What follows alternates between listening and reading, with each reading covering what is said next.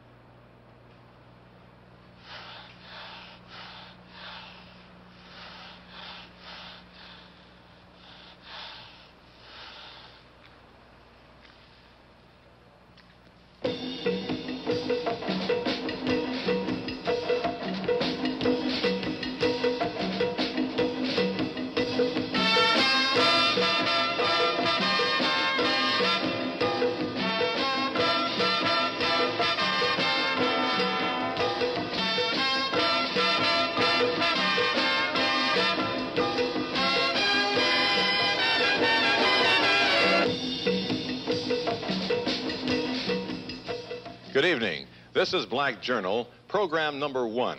It is our aim in the next hour and in the coming months to report and review the events, the dreams, the dilemmas of black America and black Americans.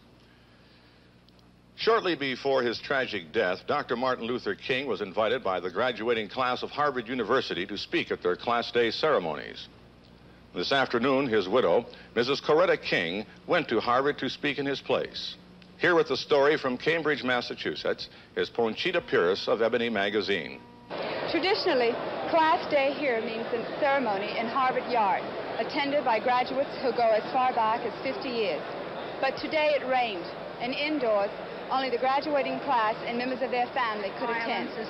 No graduating class of 1968, however, could have picked a more relevant speaker than Mrs. Martin Luther King. And so I must say that many of the young feel as I do, that official responses to the frightful and to the personally painful assassinations of these past months have been inadequate. Has not power heard the grim tidings, the anguish from the ghettos, the rural slums, the battlefields abroad? The violence which periodically shocks us in a reflection of the violence to which we have become immune. It is a reflection of the violence our media celebrate. It is, I say, with all due respect to the office of the President of the United States, that even intense prayer and a new commission of notables will not ease the violence in our lives.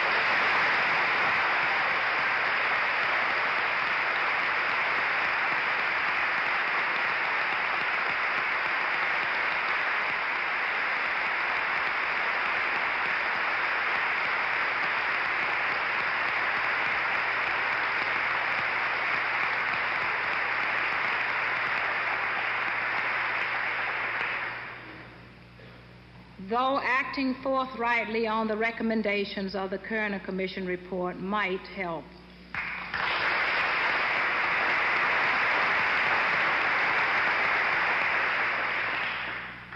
This is no time for business as usual, and strengthening the police is business as usual. A tired and false answer and the passions of recent weeks, I sometimes think that the best of our young do not always understand, understand the extent to which our great universities are authentically the most liberal of our institutions. But the universities, too, must face up to some very hard questions that they have thus far avoided.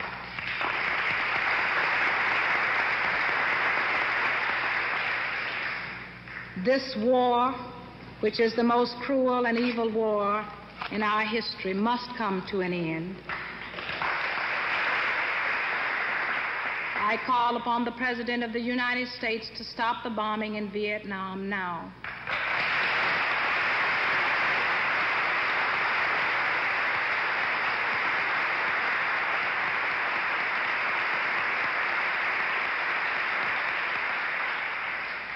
This war and the cries of the hungry and the young who have made these their causes, however, will not let them rest, and that is good. There is reason to hope and to struggle if young people continue to hold high the banner of freedom. They have made mistakes and will make more. But the older generation has failed America dismally, and if it is discredited, it has earned its disrepute.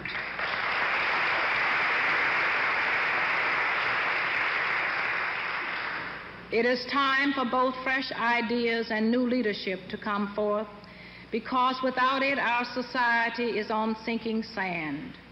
Historians of the future may record that the alliance of the civil rights movement with the student movement that began in the late 1950s and matured into broad political and social action in the 60s, 60s was the salvation of the nation. Mrs. Martin Luther King addressing the graduating class at Harvard University. And what of the graduating class? Where is it going? What is it thinking?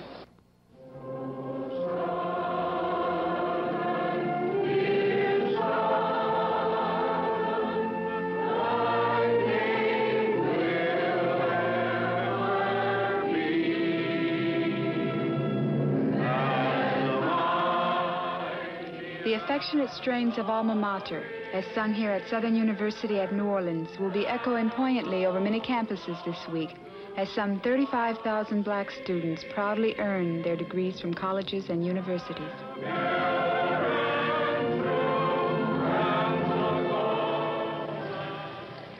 To gauge the mood of the graduate and to learn what his involvement will be in a turbulent time of history, Black Journal talked with seniors at schools north and south. First, Harvard University, where members of the Afro-American Student Society spoke out. We'd all like to think that we're here because we're qualified.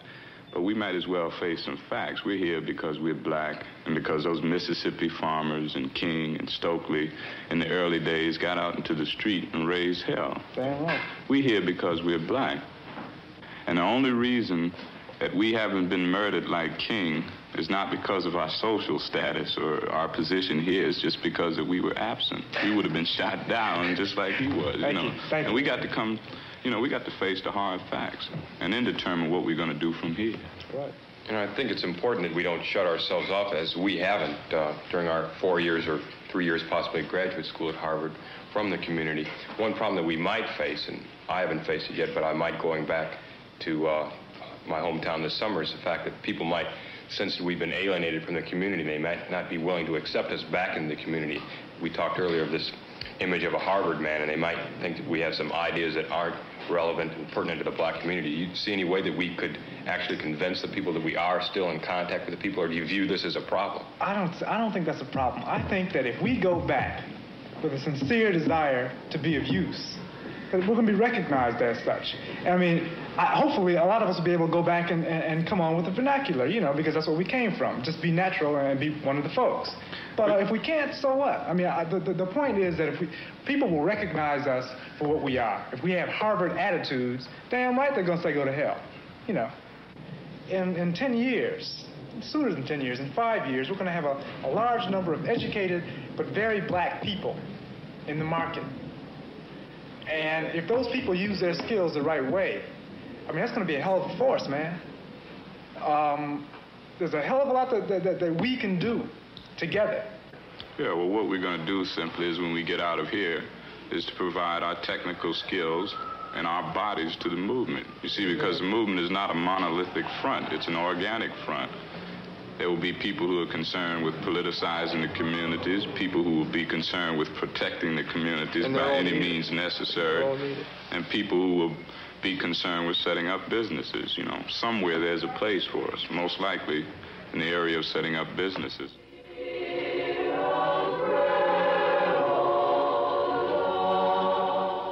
At Morehouse College in Atlanta, the graduating class was not unaware of the legacy left by a member of the class of 48. In a dialogue between seniors from Morehouse and co-eds from the sister school Spelman College, the talk centered on where each would be going after graduation and why. I'm going in a special program at the University of Chicago Divinity School. in which uh, two quarters out of the academic year are spent in the Southside Training Center of Chicago working with black people. And I chose that instead of going to some academic hall and staying in some bookshelf because I've been at Morehouse for four years and I'm tired of, of being in buildings and I want to move out into black communities. And I'm using this as my background. I want to know why do you choose to go to Ghana and teach? And if you're so black conscious, why not take a teaching position in some ghetto area right, right in the here, United States? Right here. I mean, Ghana is there, but I mean, yeah. we are right here. Everything is in our midst. Why why not here? Are you trying because to evade the draft or something? Because know? at my beautiful four years at Morehouse, I did not really uh, comprehend what it means to be a part of black culture. So, I mean, oh, if I go to Ghana, it's a, it is hope that what I learned that I can relate to America. Well, what, you can go down there, you can go down to Vine City and do the same thing as you're doing no, in Ghana. rather than help the people uh, here, rather than help your friends and neighbors, you see, you're going to go over there and help the Africans. Now, I, I, feel no more a part of Africa as a, as a common Anglo-Saxon would feel about the people who came over on the Mayflower. Sure, they're ancestors, but that's their, that's them. That's in the past, you see.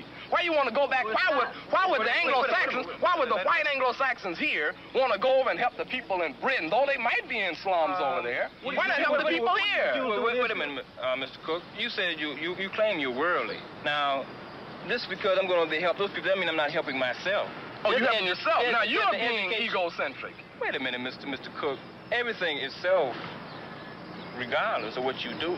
You know, because if you remember the hunger artist, the reason he didn't like food, he detests food, right? So, you know, you still were getting the satisfaction. Now, my choice is this, if you're concerned about that.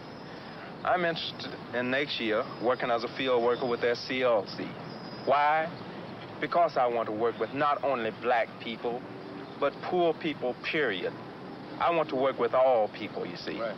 And I feel that this community, and I do think this is a community, I feel that we should work together, we should make, work harmoniously, and that we should strive for one end, and that's to get the rats out of everybody's home. Get the poor people, get everybody's, get these toothpick legs and these pot bellies off of all the people in the Delta as well as the Appalachia. If you feel the necessity, Albert, to go and work for SCLC because you want to work with all people, you know, well, that's cool. My own personal feelings are that the, the problem that exists between the races in America is so mammoth that all black people, particularly black people with any kind of mental alertness, as we should have when we finish college, any kind of political, sociological, psychological, technical um, skills or knowledge, that all of this, all of this needs to be used in the building of a black community because it was one it's one thing that is that I learned that was obvious to me you know that grew out of that whole civil rights movement and the idealism that black people had about America that uh, you know sadly enough we still aren't aware of you know just what America really is as a country. But one thing that's obvious if the dialogues would fade along with the Georgian desk the issues and principles would not. A basic dilemma of America is whether the Negro should be accepted and taken seriously as a human being. The commencement speaker at Southern University is Ernest Morial of the Louisiana House of Representatives. The Negro's part in this basic dilemma is whether to persist in his insistence upon his rights as a human being without regard to the risk or consequences, or whether to accommodate to the resistance by subtle or flagrant forms of withdrawal from the fray. For America, cannot survive if we do not. And we and no other group of human beings are likely to survive if America does not. You, today's graduates, among the thousands of college graduates of America in 1968, must be the architects of change, the engineers who build and construct a social system within our democracy for our nation to survive. Rose Williams, William Unlike any other black graduating class in history, these young men and women must make up their minds about participating in the black and thus the new American Revolution. Will their search be for middle class detachment or insightful involvement? This is the mandate to the class of 68.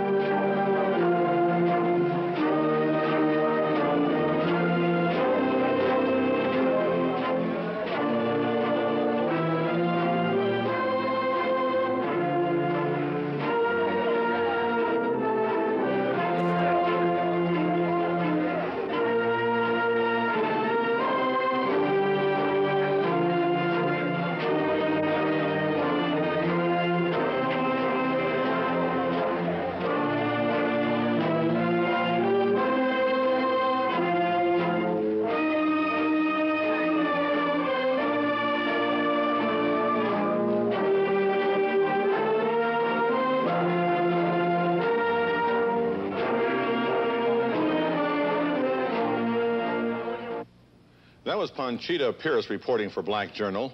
Ralph Ellison has written of the black American as the invisible man. For those who only read the white press, this has long been the case. But for 140 years, there has existed in the United States a black press, born of necessity, which has reflected every shade of opinion from conservative to revolutionary. And the black press is a story in itself. In its beginnings, it filled the vacuum created by the refusal of most white papers to print anti-slavery appeals or notices of abolitionist rallies. The first black paper on record was called Freedom's Journal, and it appeared in New York City on March 20, 1827. It was published by John B. Russwurm, a Jamaican, and Samuel E. Cornish of Delaware. The paper's first issue declared, We wish to plead our own cause. Too long have others spoken for us. Just two years later, in 1829, David Walker, a free Afro-American who was a contributor to Freedom's Journal, published Walker's Appeal, a 70-page pamphlet that exhorted slaves to rise up with violence against their masters. In 1847, the black abolitionist Frederick Douglass, a former escaped slave who had bought his freedom, founded his famous North Star in Rochester, New York. The paper helped recruit black regiments in the Civil War. Throughout the 19th century, black papers continued to take up the cry of Afro-Americans for justice, but it wasn't until 1905, when the Chicago Daily Defender appeared with its banner headlines, that a black paper appealed to the less educated masses. The black press continued to speak out against racial injustice. Black troops played a prominent role in World War II as they had in World War I. And the Afro-American press was active in denouncing discrimination in the armed forces. The black press today consists of two dailies in Atlanta and Chicago and almost 200 weeklies. These papers are largely unknown to white Americans. In common with the rest of the nation, the black press has mourned the tragic death of Robert Kennedy, long known for a strong civil rights stand.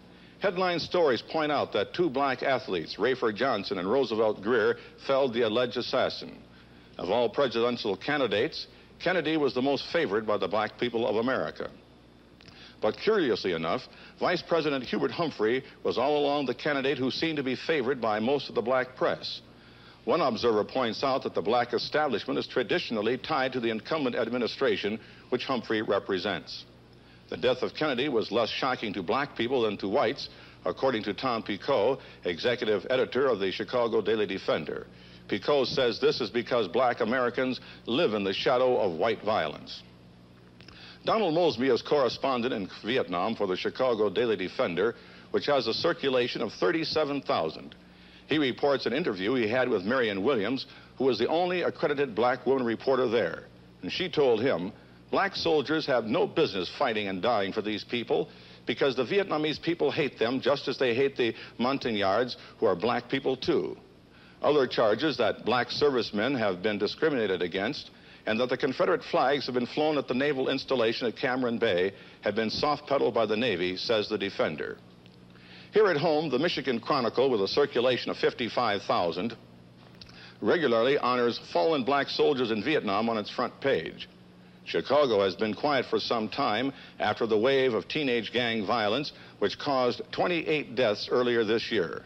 The violence is deplored by Defender staff writer Cheryl Fitzgerald, who says, the tragedy is that when black youth kills black youth, nobody cares. A bitter campaign by the weekly Carolina Times, circulation 22,000, may prevent the sale of a leading black insurance company to white interest. A financial corporation in St. Petersburg, Florida, wants to buy the Bankers Fire and Casualty Company of Durham, North Carolina, the only black casualty insurance company in America. The Times called on the present owners to stand up like men and not sell out. And the deal is now reported shaky. Incidentally, the Atlanta Daily World reports that the black owned Atlanta Life Insurance Company recently announced assets of $70 million. Altogether, there are 46 black insurance companies in the United States. And the weekly magazine Jet, with a circulation of 370,000, charges that prominent Afro Americans are being used by federal anti poverty forces to spy on the Poor People's March. The magazine says that the group is furnishing hourly security reports on the marchers to the Office of Economic Opportunity. Well, those are just some of the stories that are appearing in the black press.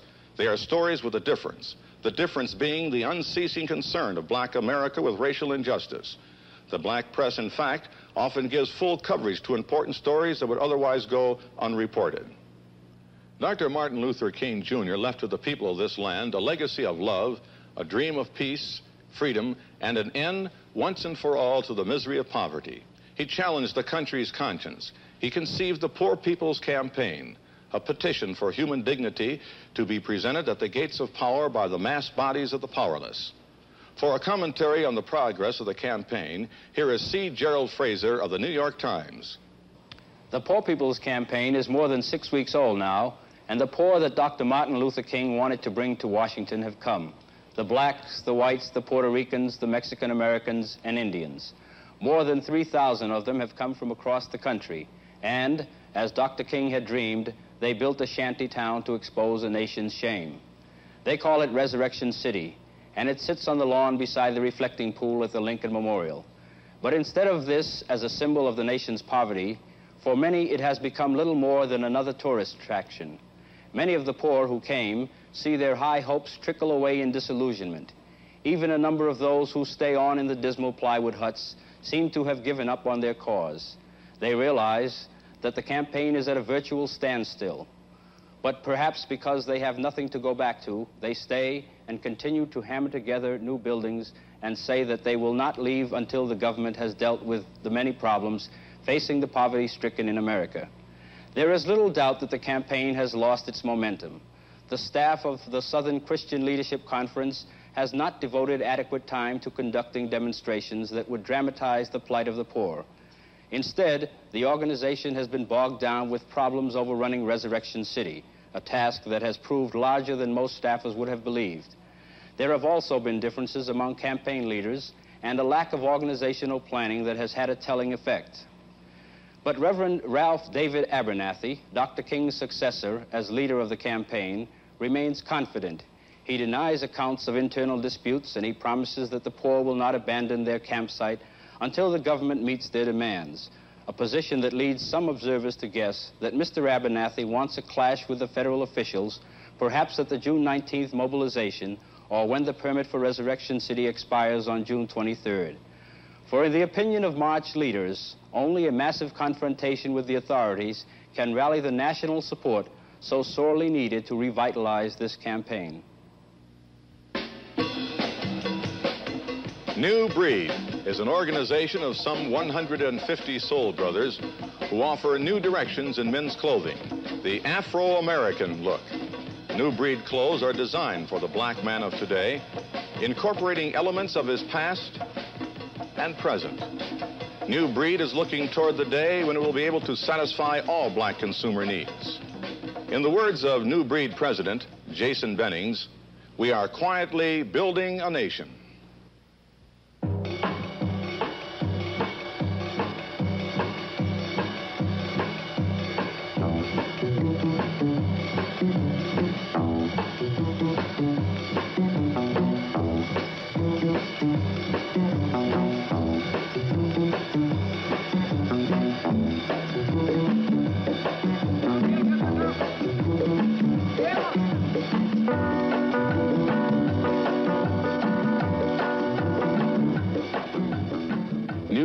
Corporation, organized in Harlem by Bennings in 1967, is now nationwide with clothing outlets in New York, Chicago, Detroit, Washington, D.C., and Los Angeles. The uh, measurement of the male, the black male, he's, uh, let's say, slimmer in the waist with uh, slightly protruding uh, back uh, side with uh, just a little bit heavier chest through here. So this jacket is constructed with this, in, you know, taken in consideration. And this is the thing that's done with the peacock flare. The jacket comes down to the center and out, which causes the, uh, the peacock flare to open up just slightly. And uh, this is the same thing that we do uh, with the uh, slightly wider lapel. We give the peak to give strength, and also the squared front to also add strength to the garment. Now, the dashiki is an adaptation of an African piece. Uh, it's uh, what we mean when we say dashiki is freedom. Uh, so it's a freedom suit. Uh, but the dashiki ends up being uh, one of the pieces that have the freedom in the garment itself. In other words, the garment is free. Uh, in this piece, I never am attacked. I could do almost anything, or I could move in any direction. I never feel the restriction of a regular jacket. So uh, this is uh, the new breed piece, uh, is the dashiki suit, is the new breed suit, so to speak. Now we have another thing that we do uh, in the, uh, let's say, uh, conventional type suit. It's called a breedall. A Milton here has on a breedall. Now the breedall is one piece. It's a takeoff on the overall. See, I used to wear the overall when I was on that farm in Georgia. Now I'm in New York, so this is the breedall. This is a takeoff. He has another job while he's here. So he has a new pair of overalls. So this is a breedall, we call it. The new breed stores aren't just clothing stores. They end up being stores that involve paintings and any number of things that might be reflective of black acculturalization. It's for the benefit of blacks. It's been a chance for me to get involved in a project with other people that uh, have the same goals. Milton Clark, in charge of new breed clothing production, cuts the pattern for a summer African print dashiki. We sell new breed. We sell new breed, which is an idea, which is an idea. Uh, one which says that the black man can do whatever he needs to do to be successful. Being black uh, orientated and uh, being concerned about the lack of progress and the lack of self-determination with black people, uh, I think New Breed is a pretty groovy idea. So that a person that becomes uh, a part of New Breed really uh, becomes a part of the idea of blacks helping blacks. All blacks are New Breed, and it's just a matter of putting a cat's coat and say, hey, uh, you New Breed, come on, let's get down, you know? I spend most of my energies trying to make New Breed succeed, or enjoying New Breed as it succeeds. So that, uh, in this sense, the white man is really an irrelevant person. It doesn't really matter that much. And this has been the thing that has uh, enabled us to uh, get as much done as we have. Uh, the fact that we have spent our time concentrating on positive things for New Breed rather than negative things for other people.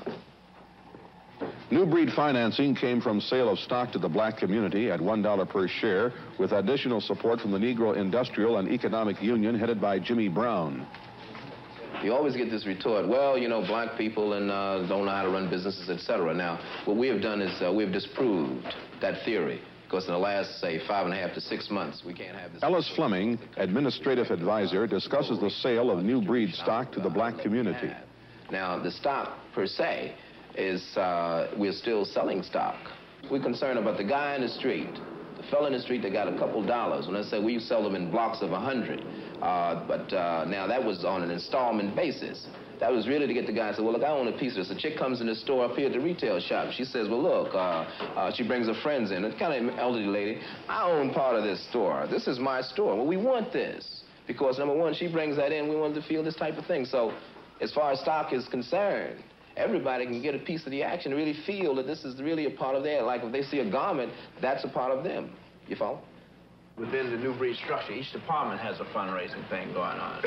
All right, so, so that we can have the funds necessary to carry out the next step of that department or that particular uh, company or whatever the thing ends up being, uh, uh, that section, uh, the, whatever their functions are. At a Tuesday night business meeting, members of the New Breed Black Communications Department discuss allocation of funds for the organization's Drum magazine to be published at the end of June. Don Hayes got a thing going on out there. And Doug, Doug is going to set up another thing in Detroit as soon as he gets back over. Yeah. Uh, yeah, he's going back over this week. How we gonna do all this? How we gonna do all this? You're a magician. Black, a little black magic. the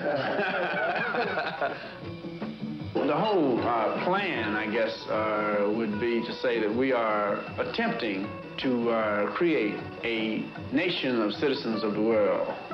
We'd like to go to the point where we free every person in the world that is enslaved. The new breed, yeah. Come on out.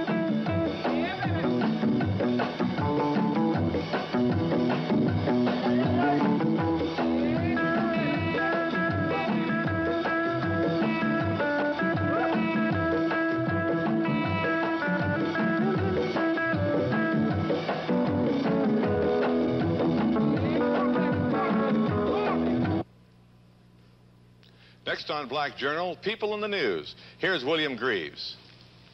A wide variety of people have made news recently in the nation's black press. In fact, they range from a black Air Force general to the first Afro American to undergo a heart transplant operation. Patrolman Ronald Smith of the New York City Police died after receiving the heart of a Bronx man who reportedly killed himself.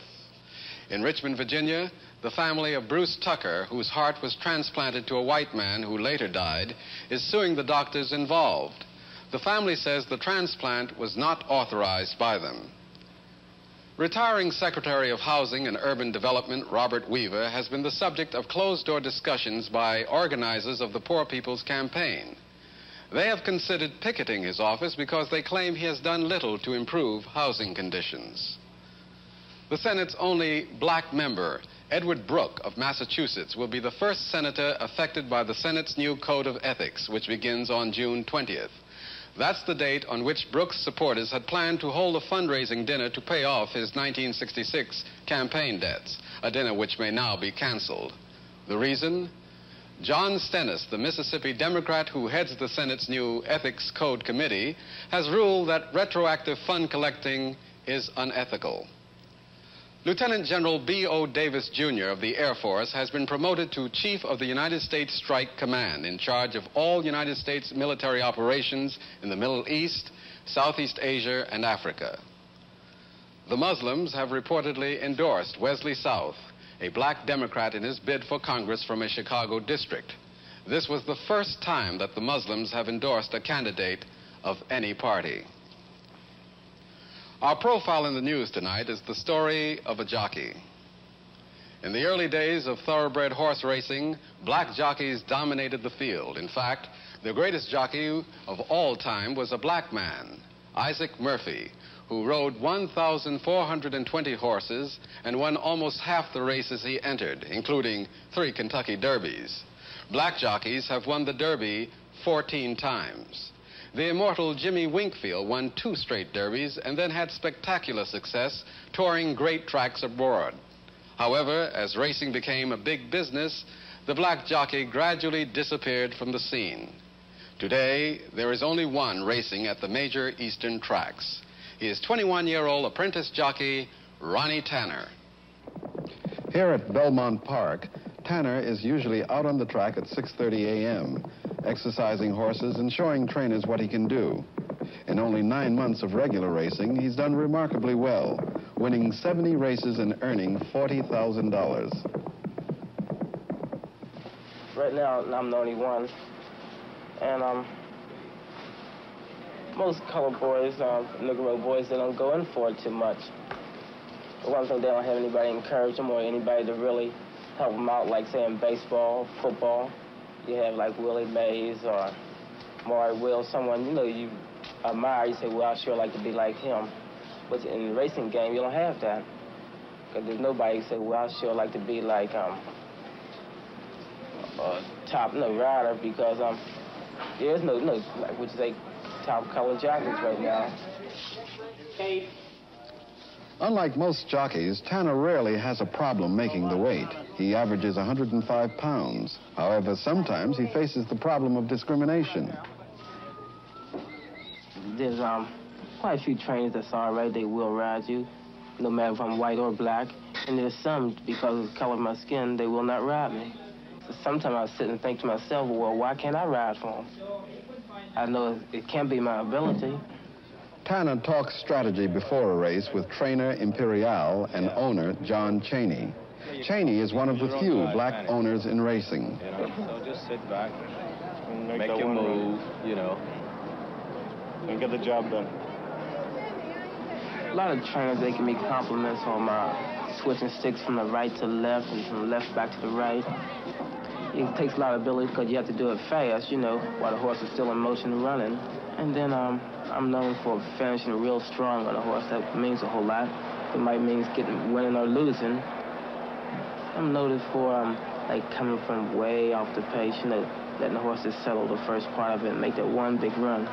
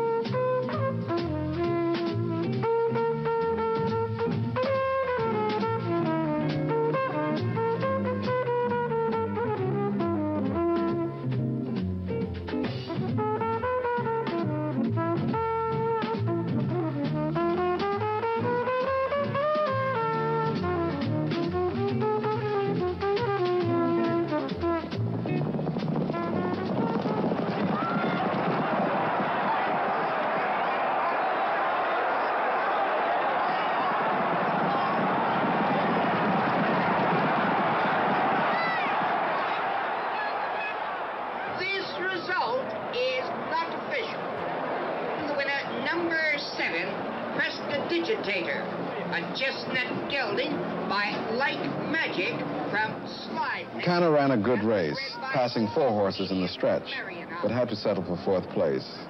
We asked him what happened. The race was run this way I figured would be run. A lot of speed. And a horse that come from off the pace will probably win it. In which the horse that um, did win it, he wound up coming from um, off the pace. And uh, but only thing he was laying a little closer than what my horse was. My horse, he runs like 15, 20 lengths, know, last. He makes that one big run like for half a mile. And usually if there's a lot of speed in the race, the horses start getting tired and come back to him. And he'll pick him up the last part of it and usually win, finish second, and, you know, run a good race. Are you so tired at the end of a long day today? Oh, no, not really. I'm still ready to ride. I wish they had a few more races. Just getting warmed up now. Seems like my luck didn't change. I've been riding a few, quite a few horses, but I haven't been able to win the races yet. Before I left Aqueduct, I was seeming to like be doing pretty good. I was winning quite a few races, riding a lot of horses. So I guess just racing luck, because luck plays a big part in this game. At times I say I'd rather be lucky than um, a good rider. Huey Newton, the leader of the militant Black Panther Party, will go on trial July 15th in Oakland, California, accused of murdering a policeman. The Black Panther Party has attracted strong national support from radicals and intellectuals, black and white. The Panthers openly advocate the use of guns against the police, claiming that they don't attack, but will only shoot in self-defense, a point disputed by Bay Area law enforcement agencies. The Panthers say this is the only means of ridding the black ghetto of what they call police brutality and oppression. The party was founded in 1966 by Huey Newton and has membership estimated between 250 and 1,000. Within the last eight months, their policy and police response has led to two major gun battles and to the deaths of a policeman and a Panther teenager. Am I under I'm telling you to take your hands off me. The Black Panthers first made national news just a year ago when they entered the state capitol in Sacramento armed with rifles and pistols. They were there, they said, to demonstrate opposition to the proposed legislation that would outlaw the carrying of loaded weapons. Wait a minute. Now, wait a minute. Wait a minute. I was under arrest. Am I under arrest? Am I under arrest? I place him under arrest. Go ahead, brother. Am I under arrest? Am I? Take your hands off me if I'm not under arrest. Am I under I'm arrest? I'm telling you to take your hands off me. In the year following this incident, there were a series of armed confrontations between the Oakland police and the Panthers. The police maintain the Panthers have provoked these incidents. The Panthers claim the police are trying to liquidate their leadership and destroy the party. Last April, when Oakland police stopped a carload of Panthers, a gun battle broke out in this house. The details remain confused. Both sides claim they fired in self-defense. After 90 minutes of shooting, the Panthers surrendered. The The Panthers say 17-year-old Bobby Hutton came out first with his hands up and was shot to death. The police say they thought he had a gun and was trying to escape. Eldridge Cleaver, author of the much-praised book Soul on Ice and Panther leader, was shot by police and arrested in the incident. Oakland Police Chief Gain. There have been many people in this city who have maligned this police department, who have, through some maudlin sentimentality or other reason, sympathized with the Black Panthers and the peace and freedom movement. And what really, what real evidence is there to cause people to be so sick as to do that aligning? Take a look at this maudlin, unjustified junk that has been put out. Bobby Hutton, they try to deify one who tried to murder policemen. And what do they say on this piece of paper? A black man who dedicated his life to defending the black community from racist oppression was murdered in cold blood by Oakland police. Ridiculous lies, ridiculous attempts to create prejudice. The Black Panther Party poses a real threat to the peace and tranquility of the city of Oakland. The Panthers have a different version of their role. Huey Newton, Panther leader, will soon be on trial for his life.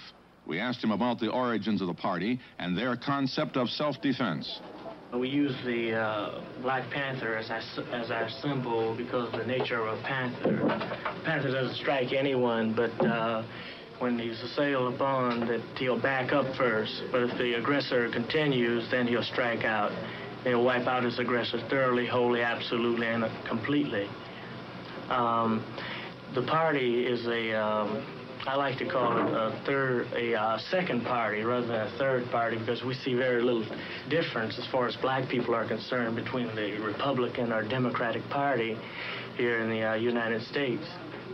Uh, we view ourselves as a colonized people. So we're in a situation of a mother country and a colony and uh, the politics of the mother country uh, has not uh, answered the needs of uh, the black subjects in the colony. So therefore, this is the uh, black uh, political party, and it's a vanguard group for the freedom of black people. Originally, our party was called the Black Panther Party for Self-Defense. the name now has been changed to the Black Panther Party uh, because many people misunderstood uh, the scope of self-defense. Uh, the power structure, the establishment, has uh, been aggressive towards us in uh, every area, the social area, the economical area, and the political area. Uh, so therefore, uh, we felt it necessary to erect uh, a political party to defend and promote the general interests of black people aggression in the economical area is as real as aggression physically by the racist police that occupy our community as a foreign troop occupies, occupies territory. While continuing their defiant stand against the police, they seek support by running candidates on the white organized Peace and Freedom Party ticket and are publishing their own newspaper. Bobby Seale, Panther chairman. Every Saturday. Yeah, and this paper is did by black people, trying to unify black people around this program here. This is in fact what the program of the party is about. We say we want full employment. Every black man wants full employment. You know that. We want an end to the robbery by the white man of our black community. That's what we're talking about, like number three. Decent housing, fit for shelter, human beings. You dig? And then we got, we want education for our people that exposes the true nature of this decadent American society. We want education that teaches us our true history and our role in the present day society. We want all black men to be exempt from military service. Right, right, right. We want freedom for all black men held in federal, state, county jails, city prisons, and jails, right? You know how black people yeah. is hung up at the man's railroad and stupid prisons. You dig? We want to immediate end to police brutality and murder of black people. Right. Basically, we want land, bread, housing, education, clothing, justice, and peace. We don't want no white man, you know, in our organization. We don't have white people in the organization. What we do, white people who want to help, this organization is so controlled by black people, we direct those white people what they can do and what they have to do to start right. stopping that racism. You dig what I'm right. And we don't want them down here in our community controlling us. That's what we talking about. So tell them we to go home and watch their own. Do, do go home, right. change the racism now. Right. The Panthers support this boycott of an Oakland supermarket organized by the Blacks for Justice Committee whose spokesman is on the Panther Advisory Committee, Paul Cobb. We checked with the Better Business Bureau and a lot of consumer uh, community organizations about, we've had repeated complaints about the meats here. They're the worst in the city. The sanitary condition of the store is the worst. 96% of the people who shop here are black, and less than 5% of the people who work here are black. This is inequitable, and this is why we're here. And there is a connection between boycotting here at Housewives and the indictment of the murder of Bobby Hutton. And police brutality is connected because the economic interests that control this city also control the policy of the police department.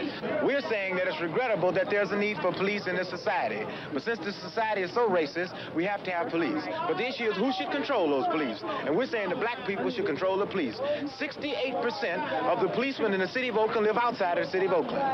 We're saying that the police must live in the black community so they will have an opportunity to relate to humans properly, and they must be black.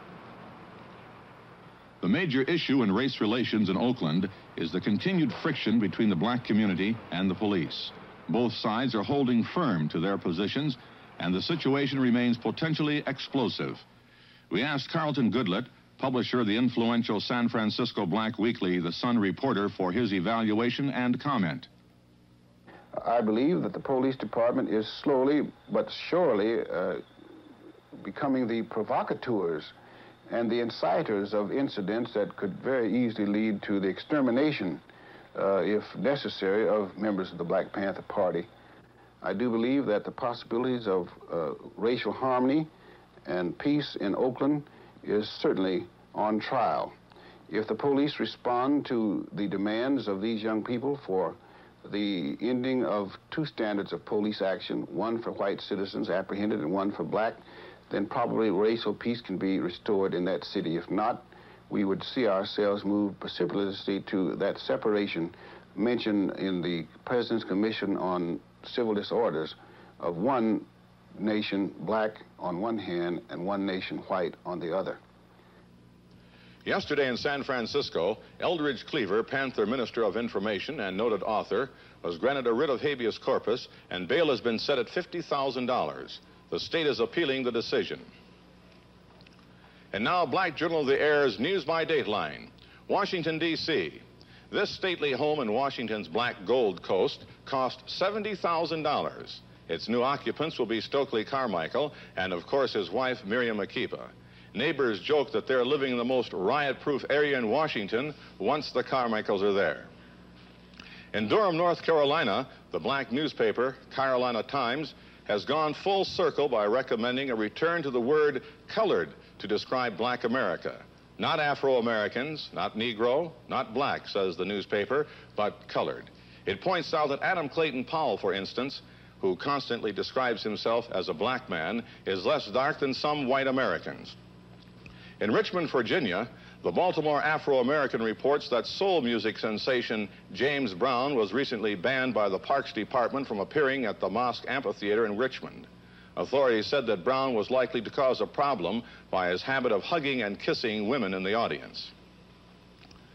Hollywood solved the problem dealing with race relations in a recently praised film which asked the question, can a rich, beautiful white girl find happiness married to an average Negro who happens to be a world-famous award-winning doctor whose credentials run longer than the film.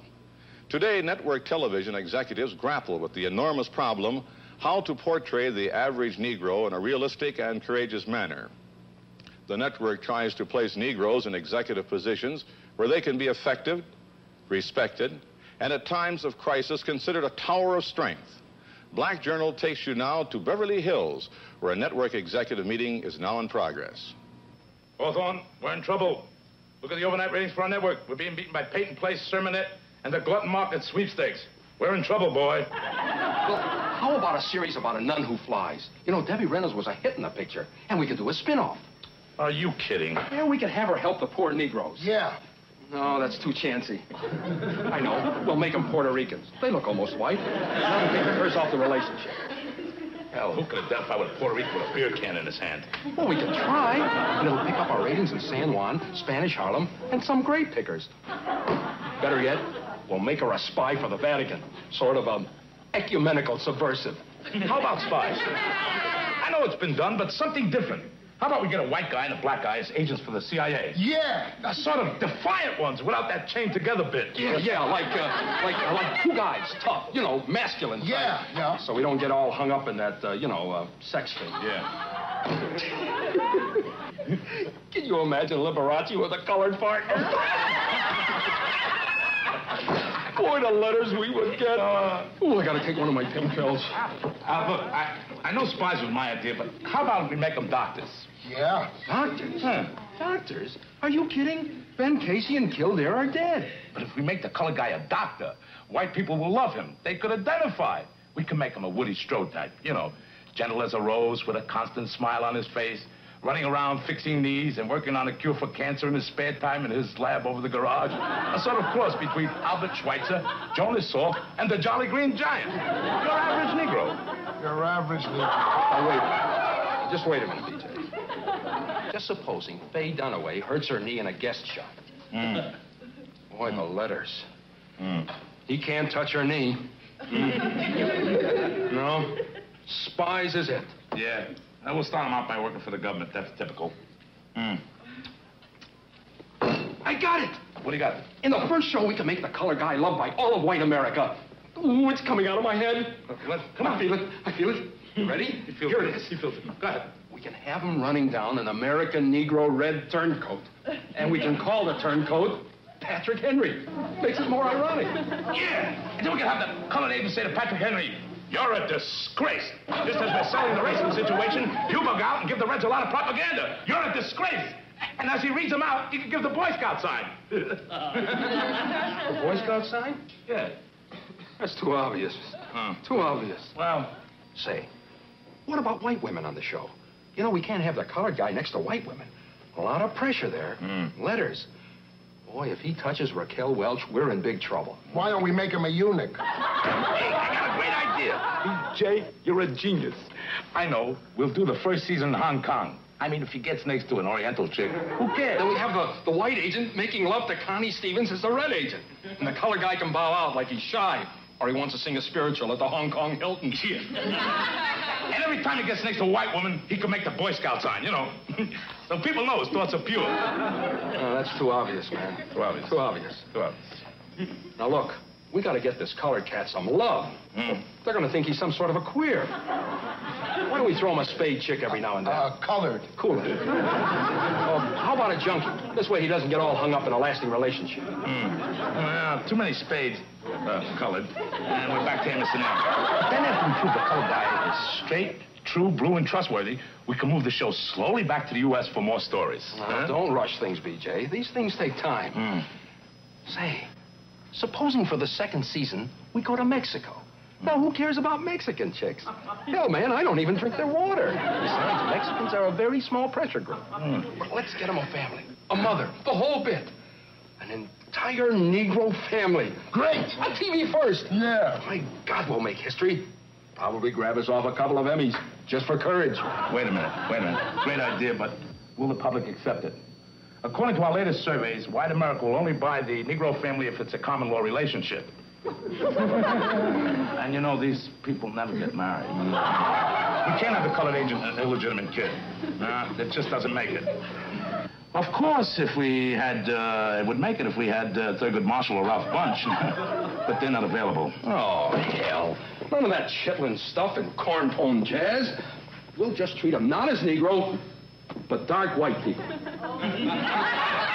No, none of that civil rights and all that jazz. Hmm. What they're worried about is straightening Samson's teeth, crabgrass, and trying to keep the national average of 2.2 children per family. Hawthorne, you're beautiful. you look flush. Take another pill. Uh, well, we got all the points covered. Uh-huh. Hey, we'll win a dozen Emmy Awards, I tell you. Well, uh, what do you think, Grammerson? A- a- anything you think, fellas. Uh, look, I, I got to get back to my desk near the door. The equal opportunity people are coming by this afternoon. you can go straight out your tie. Oh, yes. Uh, uh, it's great to have you on the team.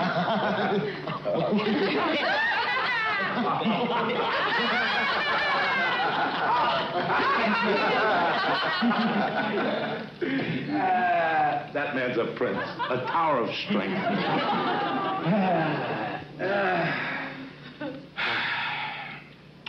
Say, BJ, I just heard that um, they're putting a Negro family in Peyton Place. Incredible.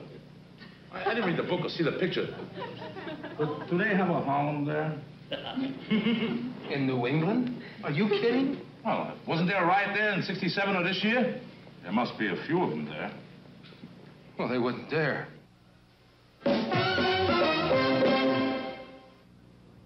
And that's Black Journal for this evening. We'll return one month from tonight on Wednesday, July 10th, when we'll look at black theater, medicine, and the major events of concern to black America. Wangay Sagay. This